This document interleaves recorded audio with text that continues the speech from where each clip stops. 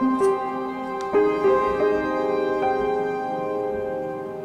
Weh, lens aku rosak weh. Tak tahu kenapa ni. Lens ni aku selalu pakai eh. Sebab lens ni aku memang favourite tau. Sebab dia wide lens. Lepas tu lens ni 12mm tau. Lepas tu dia punya F number pun 2. So aku suka gila sebab dia lah wide lens. Lepas tu dia punya bokeh cantik lah. Dua kan. Of course bokeh cantik. Lepas tu tak tahu kenapa tadi. Aku last aku pakai hari tu. Waktu aku vlog dekat Melaka itu.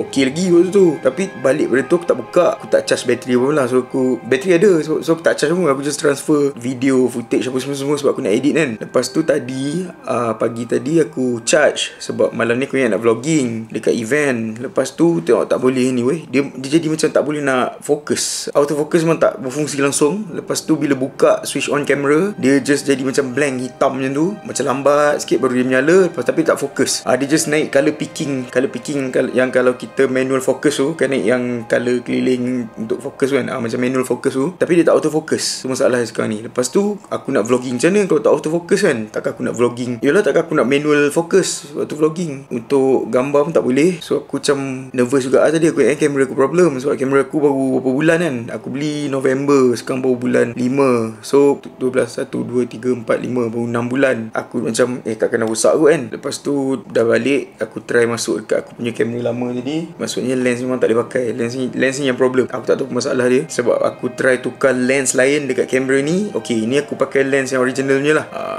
And then aku try juga dengan lens-lens lain yang ada tadi. Aku try lens ni Aku try lens aku punya Sigma. Yang ni boleh pakai. Maksudnya kamera tak ada isu. Kamera tak ada masalah. Yang ada masalah adalah dia punya lens ni. Sayangnya dah lah aku punya favourite weh. Aku beli ni bulan apa Bulan 9 ke bulan 10 Samyang. Aku tak tahu semua ada rosak ke Ataupun ada isu apa ke. Tapi bila pasang tadi pun dia macam Dia bunyi klik. Tapi aku tak tahulah Sebab aku takut dia punya ni ni Takut dia punya benda-benda yang sini Macam tak connect ke Apa benda ke Aku tak tahu dekat dia punya tempat masuk lens kan? Macam mana vlogging Boleh lah vlogging. Aku pakai lens ni Lens ni lens asalnya. Tapi lens ni untuk aku punya Sony lama ni. Sony yang 5100 ni. Sebab aku beli kamera ni Aku just beli body je. Sebab aku memang dah ada lens kan. Sebab aku nak beli lens banyak kan. So sekarang ni aku rasa kena vlogging pakai lens ni lah kot. Sebab kalau aku nak vlogging pakai Sigma ni Sigma ni lens yang uh, Dia cantik kak uh, Sebab dia uh, 2.8 Tapi 30mm So 30mm untuk nak vlogging Tak sesuai sangat lah Sebab macam akan jadi dekat kan. So muka aku akan penuh frame macam ni. Uh, Macam ni kan. Takkan aku nak vlogging macam ni. Melainkan kalau yang aku pacak tripod Then okey lah boleh pakai ni. Sebab lens dia cantik tak? So aku rasa buat masa sekarang Aku kena vlogging pakai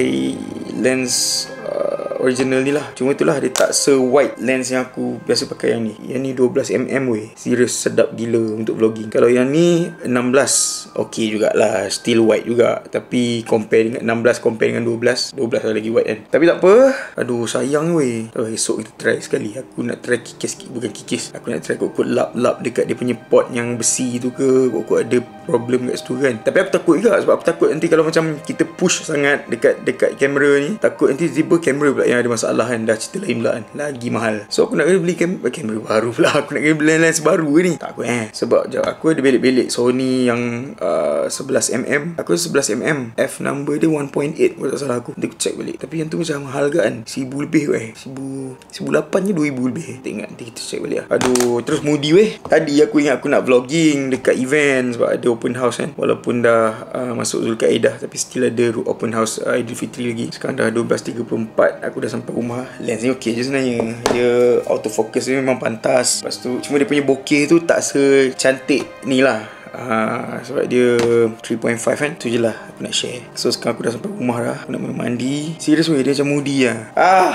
Buat sana kan? Tak semua benda yang kita nak Kita akan dapat. Uh, Jadi kita kena menerima hakikat itulah. Dengan tripod kecil aku tinggal kat dalam kereta Adalah tripod besar ni ada. Nampak yang pakai cap ni uh, Nama dia tripod besar. Tapi tripod kecil yang Gorilla tu Ada kat dalam kereta Malah pergi ambil Hopefully esok aku try Buat apa yang patut Kok-kok dia okey Tak ada jatuh tak ada apa weh. Serius. Aku tak ada Terhen hentak ke apa tak ada. So aku memang simpan dalam bag. And then kalau aku bawa pun memang Aku tak ada letak tempat yang macam Tu hentak-hentak kuat pun tak ada. Ha, Cuma itulah sebab Samyang ni actually Dia lens yang reasonable price Dan murah sebenarnya kalau compare dengan lens-lens lain kan. So body dia pun plastik sebenarnya. Mungkin ni salah satu punca kenapa Dia punya quality pun macam sedikit low Compare dengan lens lain kan Dah lah aku nak mandi. Nanti kita berat lagi. Video pendek ni Sekadar luahan sakit hati dengan lens. Okay lah. Jangan lupa tengok video sebelah ni. Jumpa next video. Bye. Assalamualaikum